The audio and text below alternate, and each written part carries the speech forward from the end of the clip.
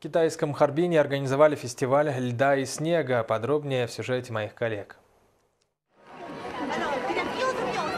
Фестиваль снега и льда стартовал в китайском городе Харбине 5 января. Это один из самых холодных городов, расположенный на северо-востоке страны.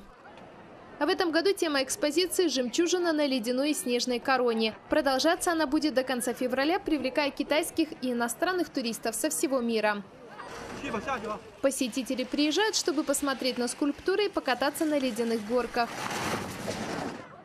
22-летняя студентка посещает фестиваль впервые. Говорит в восторге от ночной иллюминации. Мы приехали на фестиваль «Да и снега» в 4 часа вечера, когда был еще день и светило солнце.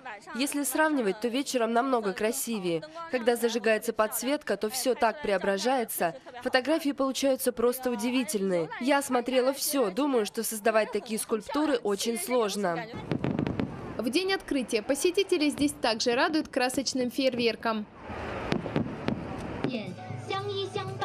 А это второй день фестиваля. В пятницу здесь состоялась уже ставшая традиционной массовая свадьба. Бросить вызов холоду и морозу решились 18 пар женихов и невест. Все началось ровно в 9.38 утра, поскольку в Китае считается, что цифра 8 приносит удачу. Организаторы говорят, что ежегодно фестиваль снега и льда посещает несколько миллионов туристов.